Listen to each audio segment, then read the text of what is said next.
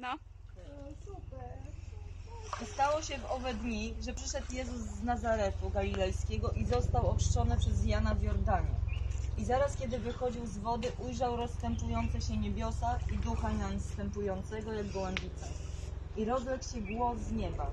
Tyś jest Syn mój umiłowany, którego sobie upodobałem. I zaraz powiódł go duch na pustynię.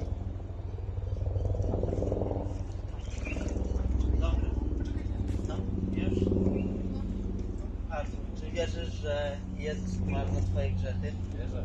Czy wierzysz, że wstał z martwych? Wierzę. Czy ustanowiłeś go Panem swojego życia? Okej, to na podstawie twojej cię jeszcze w imię Ojca i Syna.